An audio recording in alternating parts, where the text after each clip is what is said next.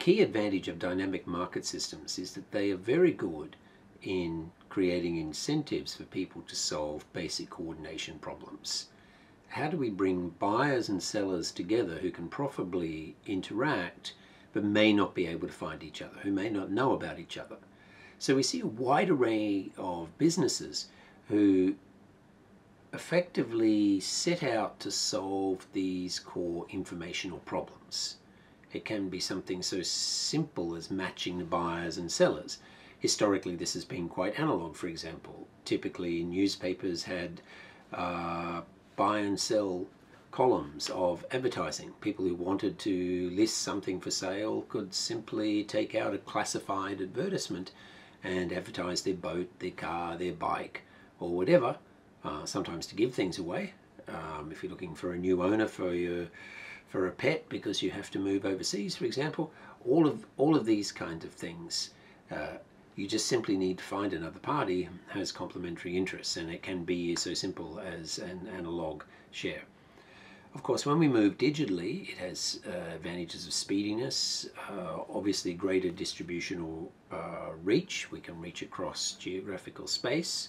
But also the other huge advantage of things being digital is it allows very effective search. And so then we need a range of things such as tagging and classifications and categories and whatnot. And there's a lot of very smart people in IT who've evolved a whole range of solutions for this.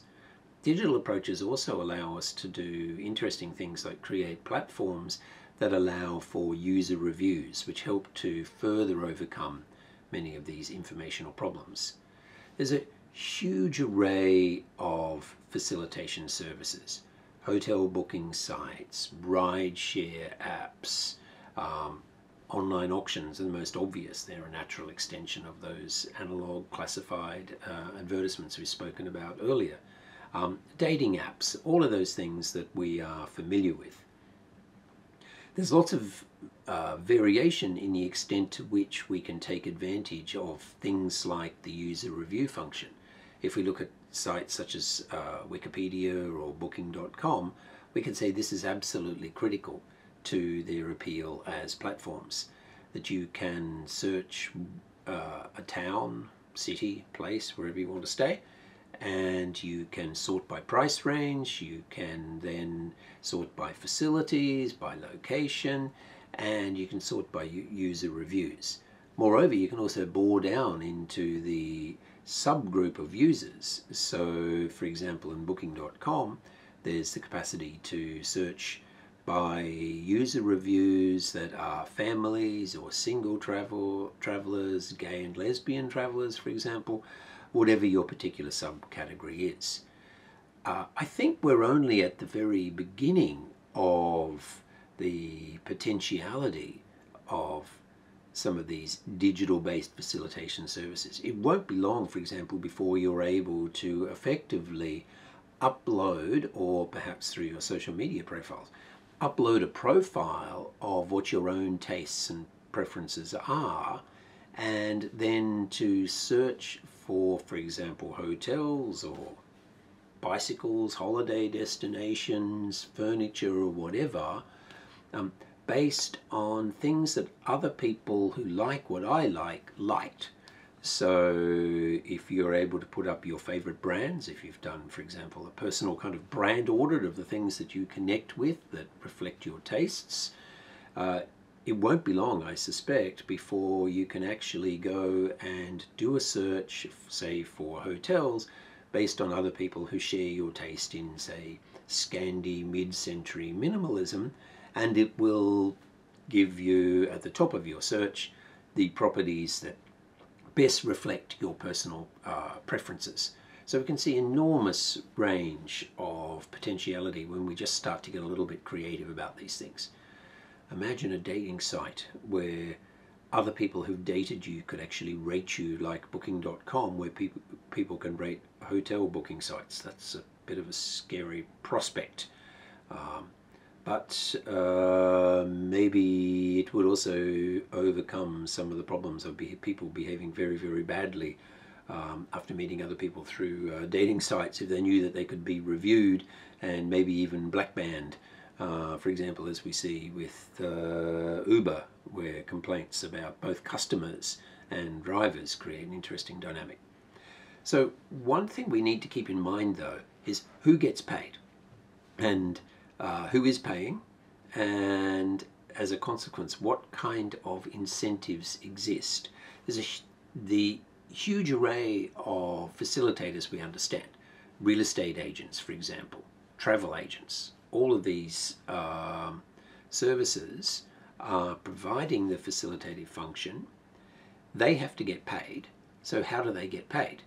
Now, if you join one of those dating services that very proactively try to match people for the serious intent of getting married, and you pay quite a lot of money to join the dating club or whatever, the typical pattern is that both parties pay, and so these are neutral facilitators. We can see a range of businesses that are either getting paid by both sides, or even if they're paid by one side, nonetheless very much see themselves as having a neutral role because the reputation of their platform depends on this. For example, the hotel booking sites, although they get paid by the hotel, critical to the attractiveness of the, the booking site is the fact that the site itself is seen to be relatively neutral in relation to the property. Or at very least, if it's not directly neutral, uh, it provides those reviews which give an, uh, a neutral or an independent collective and uh, obviously individual review level feedback based on which the customers can make choices about which hotels they want to book. Now, of course, we do see booking sites that will uh, have recommendations that will push some some hotels over others, and typically that's because they're getting a larger margin, for example. But there are a lot of ethical issues there, and that's why sometimes we see government regulation. One role of facilitation where this is a big issue is actually in education services, where we have education agents. People are thinking who are study, thinking of studying abroad in another country might go to an agent and ask them to recommend, to suggest some universities abroad. Now, one of the ugly realities in the higher education business is that there is a lot of competition between universities to pay commissions to agents. And some unethical agents will sometimes recommend a university or a college to a potential student not based on the best fit between the institution and the student, but based more on the size of the uh, agent commission that the institution is, is uh, prepared to pay the agent. So the agent makes more money by representing university uh, or introducing University B over University A. In financial services, this is also another big problem. Real estate, uh, to some lesser degree because generally in real estate in many countries we have standard form contracts, standard commissions. So the amount that the real estate agent gets paid is the same uh, as a percentage of the sale uh, regardless of the particular house that they sell. But there's a very important point there. I just said regardless of the house that they sell.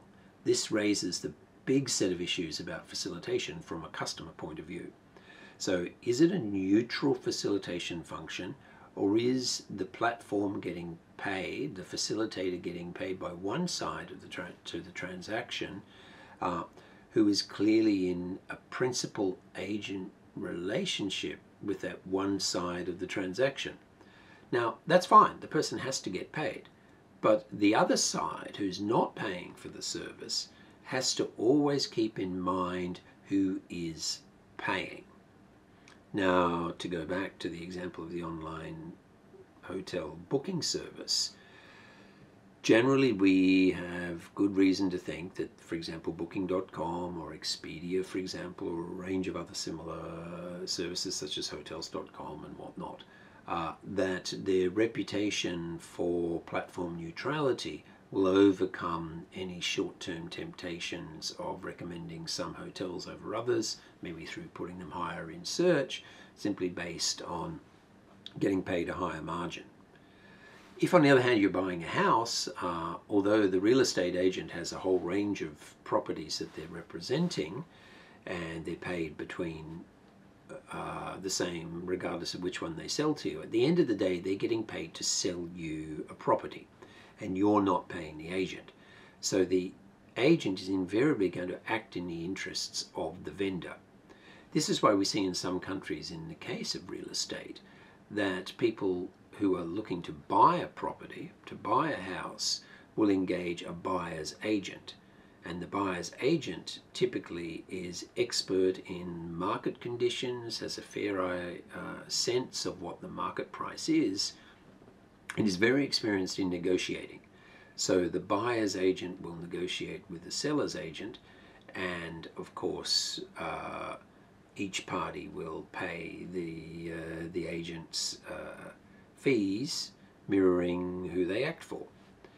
We do see a bit of an odd situation in Japan where there is normally a buyer's agent and a seller's agent arrangement, a, commission arising for both, but uh, very often the seller's agent actually nominally is carrying out both functions, and so you typically get uh, a bill for both of the the uh, commissions uh, but in fact, the agent has very much functioned on the, uh, the side of the seller.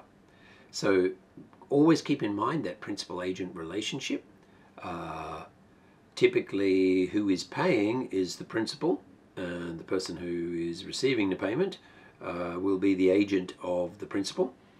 And that's all right if they are providing the platform for the other side as well to use as long as the other side keeps in mind that effectively they're getting this facilitation function for free but the downside is that the uh, the other party is paying the facilitator therefore one has to be very careful in guarding your own interests in being an effective negotiator in effectively considering all of your options and that's really what makes those kind of facilitation sites and businesses uh, so important and so attractive to us anyway. We can't do this stuff by ourselves. We do have to go to a real estate agent, for example, to find a place to rent or buy. Um, we just need to keep in mind that if we are the buyer and we walk into a real estate agent, uh, want to uh, buy an apartment, for example, that they will be being paid by the vendor. So we will have to be very, very careful to protect our own interests, even when we're dealing with this agent who seems so lovely and maybe even give us a bunch of flowers on the day that we move in.